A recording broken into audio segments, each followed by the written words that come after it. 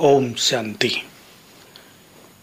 हम सभी को बाबा ने स्पिरिचुअल नॉलेज दी है और बहुत सूक्ष्म रहस्य हमारे सामने खोल कर रख दिए हैं।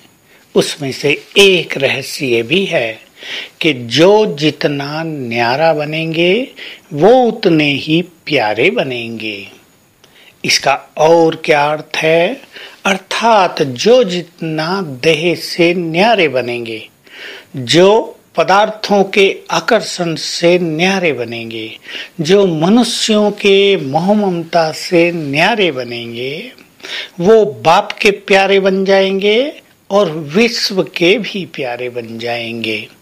संसार में हर मनुष्य प्यार चाहता है, परंतु प्यार पाने की विधि यही है। इस समय जो देह से न्यारे बन जाएँगे, वो परमात्म प्यार में भी मग्न हो जाएँगे और उन्हें जन्म जन्म रिश्तों में भी प्यार प्राप्त होगा। तो आइए हम सभी बहुत अच्छी प्रैक्टिस करें इस देह से न्यारे होने की। जो देह से न्यारे होने का निरंतर अभ्यास करते हैं, वही मैपन से भी मुक्त होते जाते हैं और उनके द्वारा इस संसार को ऑटोमेटिकली शांति के वाइब्रेशंस मिलते रहते हैं। बहुत ज़रूरत है इस समय सारे संसार को शांति की तरंगे देने की। हम सभी पूर्वज हैं। हमारा ये परम कर्तव्य है कि हम संसार की सभी आत्माओं की मदद करें। चाहे वो किसी भी धर्म का हो, अपने वैर भाव छोड़कर, अपने मन की भावनाओं को श्रेष्ठ करें। ये हिंदू है, ये मुस्लिम है, ये क्रिश्चियन है, ये सिख है। इन्होंने हमें बहुत सताया है, इन्होंने हमें कष्ट पहुँचाया है। ये सब भावनाएँ अब हमें छोड़ देनी है, क्योंकि अब हम बड़े हो गए हैं, बड़े अर्थात अर्थात सबके पूर्वज। तो हमारी दृष्टि सभी के लिए बहुत स्वीट होनी चाहिए और हमें याद रखना है कि जिस मनुष्य को, जिस पूर्वज को, संसार को शांति का दान देना है, उन्हें अपने अंदर शांति की शक्ति बहुत भरनी होगी। ये साइलेंस पावर है। इसलिए उन्हें ध्यान रखना है कि वो कभी भी किसी बात में अशांत नहीं हो सकते, न चारों ओर अशांति फैला सकते। मन को अशांत करने वाली बातें बहुत आती हैं।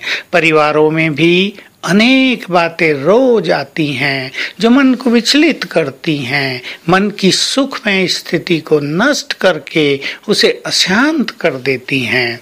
परंतु हमारे पास सच्चा ज्ञान है, इसलिए हमें अपने चित्त को कभी भी अशांत होने नहीं देना है। ये बहुत बड़ा चैलेंज कलयुग में हम सबके सामने है। इस चैलेंज को हम स्वीकार करें और हम भी चैलेंज कर दें कि किसी के शब्द, किसी का व्यवहार, कोई लाभ हानि कोई सुख दुख हमें अशांत नहीं कर सकता। हम जब इतने शक्तिशाली बनेंगे, तब हमारे अंदर शांति की शक्ति जमा होती जाएगी। हमें कमज़ोर नहीं बनना है कि कोई हमें कुछ भी कह दे और हम अपनी शांति को खो बैठे, ये बिल्कुल नहीं होने देना है।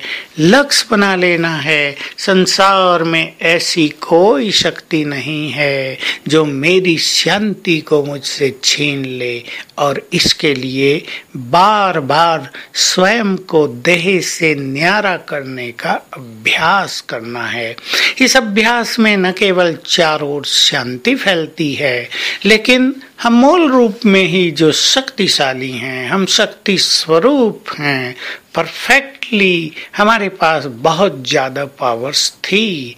वो शक्तियाँ पुनः हमें प्राप्त होने लगती हैं और हम अपनी शांति को सदा कायम रख सकते हैं। तो आज सारा दिन हम बार बार अभ्यास करेंगे, मैं आत्मा अलग, ये देह अलग। बार बार अपने देह की ओर देखें और संकल्प दें, मैं ये नहीं हूँ। मैं तो मास्टर ज्ञान सूर्य, एक बहुत तेजस्वी आत्मा भ्रकुटी के मध्य में विराजमान। मुझसे तो चारों ओर रंग बिरंगी किरणें फैल रही हैं। ये अभ्यास बारंबार करेंगे तो सारा दिन डीप साइलेंस का अनुभव होगा और अनुभव होगा कि भाई ये कोई भी वातावरण हम पर अपना प्रभाव नहीं डालता। ओम शांति।